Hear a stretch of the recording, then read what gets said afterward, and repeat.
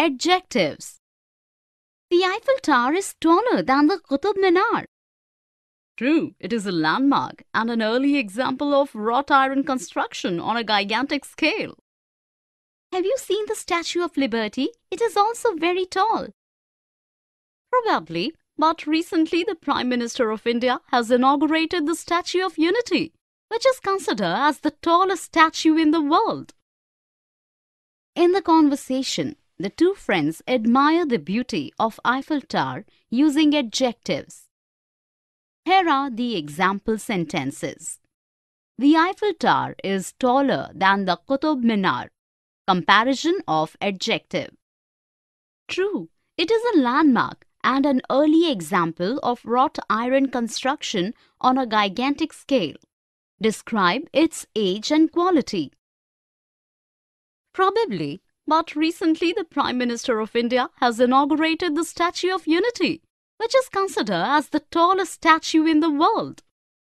Comparison of adjective. Definition A word used with a noun to describe the person, animal, place, or things which the noun names or to tell the number or quantity is called an adjective. Usage of adjectives. Adjectives always come before a noun should be separated by a comma or conjunction when they are used together. That describes something in its own right is simple form. That are used to make comparison between two are comparative form.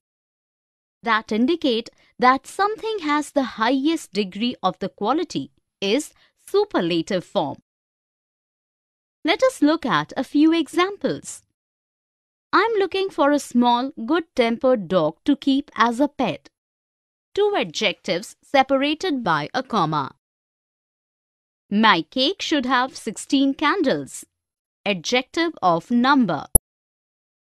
The poor woman had seen happier days. Positive and comparative form.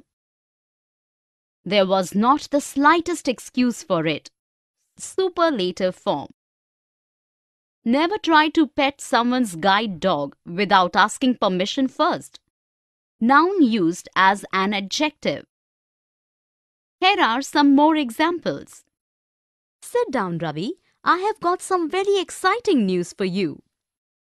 There should not be much talk and little work. The way was long, the wind was cold, the minstrel was infirm and old. He is a man of few words. Nilima disappointed me by her behavior. Adjectives Position Where are you going, my friend, in this hot and dry weather? I'm going to buy some charming silver ornaments at the Old Town Market. Is it? May I join you? Of course you can. Let us have fun together. In the conversation, we come across two or three adjectives with a perfect order. Here are the example sentences. Where are you going, my friend, in this hot and dry weather? Two adjectives joined by and.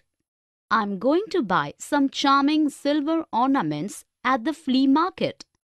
Adjectives placed in a specific order. Definition When a number of adjectives are used together, the order depends on the function of the adjective. Usage We use some adjectives only after a link verb. Adjectives ending with ed are normally used only after a link verb. When there are multiple adjectives are used together, the usual order is quantity, opinion, size, shape, age, color, origin, material. A few adjectives are used only in front of a noun.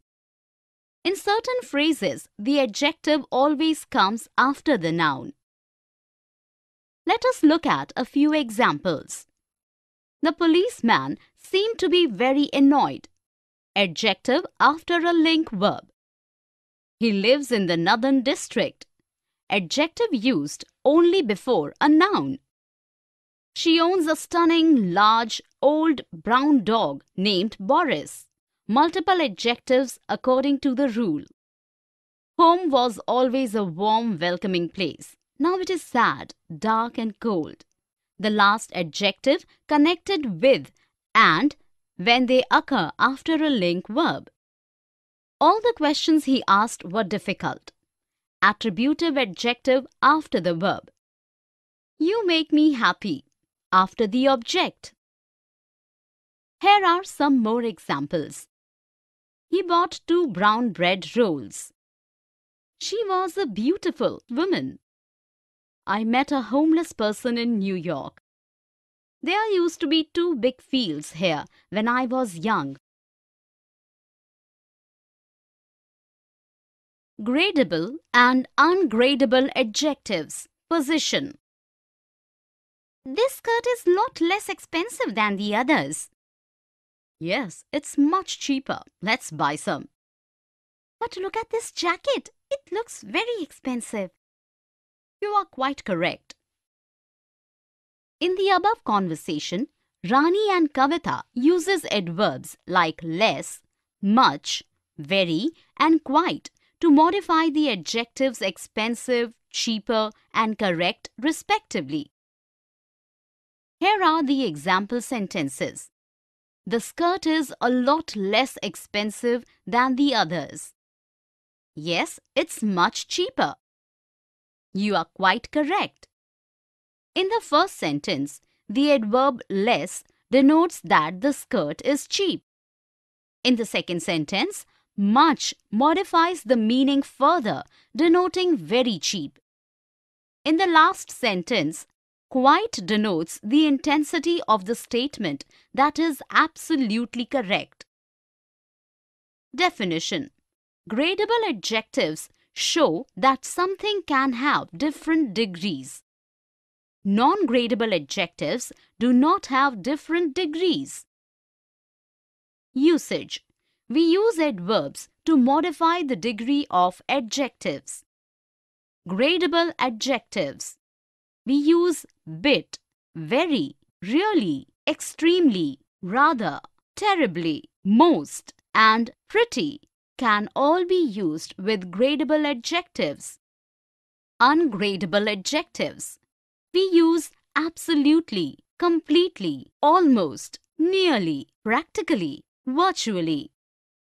Note, some adjectives can have both gradable and ungradable meanings like really, very, pretty, and fairly.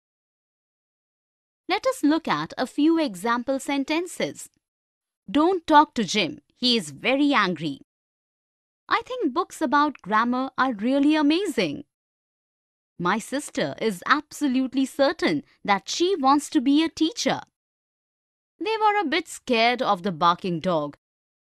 She sounded slightly foreign. He's advising on foreign policy. In the first and second sentence, the adverbs very and really show the degree of the gradable adjectives angry and amazing. In the third and fourth sentence, the adverbs absolutely and a bit show the intense of the ungradable adjectives certain and scared. In the fifth sentence, foreign is gradable because it refers to a measurable quantity, whereas in the last sentence, Foreign is ungradable because it refers to a particular type of policy, so it is standing alone. Here are some more example sentences. This book is very interesting. I felt completely exhausted after the gym session. I was slightly surprised when he told me the news. It starts an essentially chemical reaction Prepositions after adjectives. Afraid of, for, etc. Welcome to New Delhi. As informed, you will be responsible to the head of the finance department. I'm perfectly capable of doing it myself. Thank you. I knew that I will be held personally responsible for whatever happens in the department. You are right. It is our duty to serve to the people of our nation. In the conversation, we come across the adjective responsible with different prepositions. Here are the example sentences. Welcome to New Delhi. As informed, you will be responsible to the head of the finance department. Preposition to following the adjective responsible. I knew that I will be held personally responsible for whatever happens in the department. Preposition for used after the adjective. Definition. Some adjectives go with certain prepositions. There is no fixed pattern as such. Usage. We use some of these prepositions after these adjectives. In, absorbed, accomplished, diligent, enveloped, fertile, foiled, honest, temperate, versed, accurate, etc. With, acquainted, affected, busy, compatible, complaint, contented, gifted, delighted, endowed, overcome, popular, etc. Of, accused, afraid, appraised, assured, dull, easy, envious, fearful, greedy, guilty, ignorant, sensible, slow, sick, etc. For anxious, celebrated, conspicuous, customary, designed, destined, eager, eligible, eminent, fit, good, notorious, etc.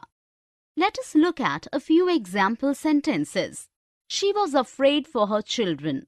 Preposition for after afraid.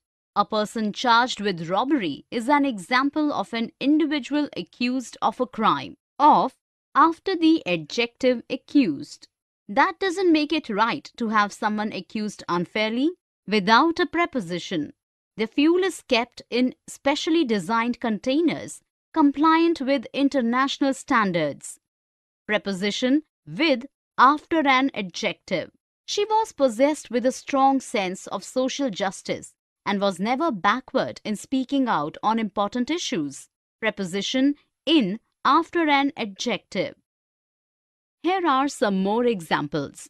I am already acquainted with the latest developments of the students. He is indebted to you for your help. Jawaharlal Nehru was fond of children.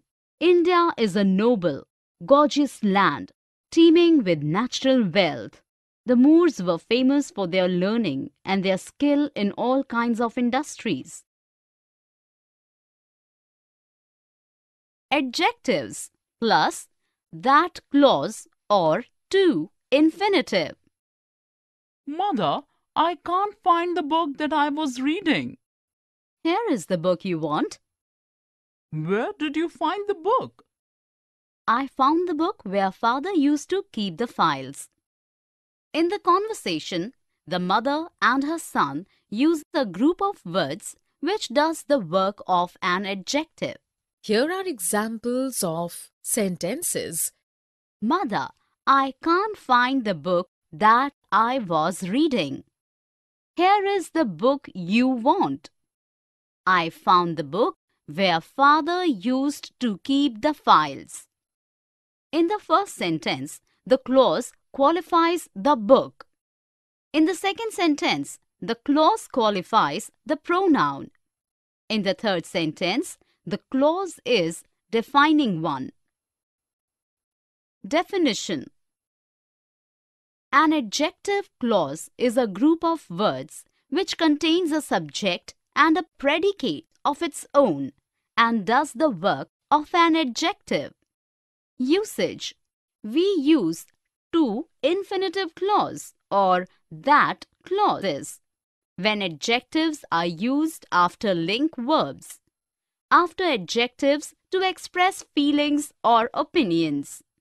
Note, some adjectives like able, due, likely, prepared, ready, bound, etc.